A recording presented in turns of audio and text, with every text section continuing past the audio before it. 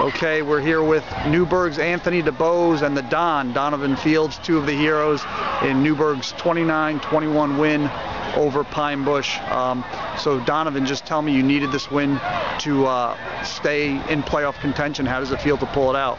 feels really good, especially since I'm a senior. Rest of the seniors on the team, to know that our season is still alive and that we still have the chance to make the playoffs. Uh, Anthony, you guys were up 23 nothing. They pulled back 23-21. It got a little nerve-wracking. How how are you guys feeling, and what did you tell the team when you know Pine Bush was looking to you know pull off pull off a crazy win? I told them just be just come together, come to get once once, once you're a team, it's hard to beat you. We worked hard this week. Scout gave us everybody chipped in, so it's a team effort and how did it feel? You broke off that long touchdown run, I think 38 yards to, to pretty much seal the game. How did it feel to, to, so to do that? great, knowing that we all came together as one, everybody helping us out. So it felt good.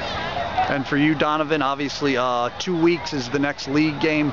Kingston, uh, you'll you'll need that game. Uh, how does the team feel now after beating Pine Bush? I mean, there's, there's a lot of pressure on because we know our backs are against the wall because we really need this game.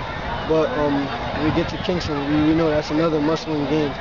And it's a good thing I was back at home too. So that's the last home game of the season, so it's our last chance to win in front of our home crowd.